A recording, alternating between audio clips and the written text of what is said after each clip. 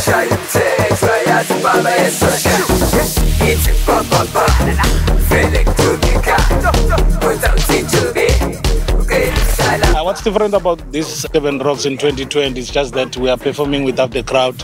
Yes. Uh, something new that we, we have to learn to live by. Mm. But I think it's going to be a great show and uh, we're loving it and we are happy that we're still part of the Fact Durban Rocks. Yes, best performance, obvious. I always say uh, when we perform is two in one, good music and good stage performance. So people should expect fireworks.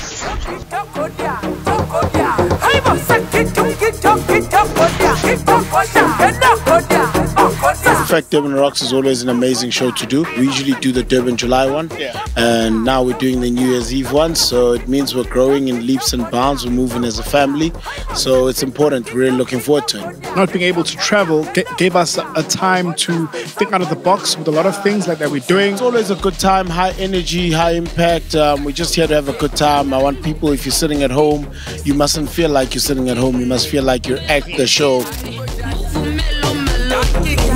ñakke I've done FDR, Fact Durban Rocks, for five years now. The past five years have been crowds, craziness.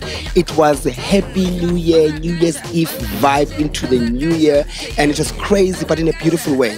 This year is different. The show must go on. And not only the show, as in show business, life must go on. So it means so much. It, it says, guys, we can do better.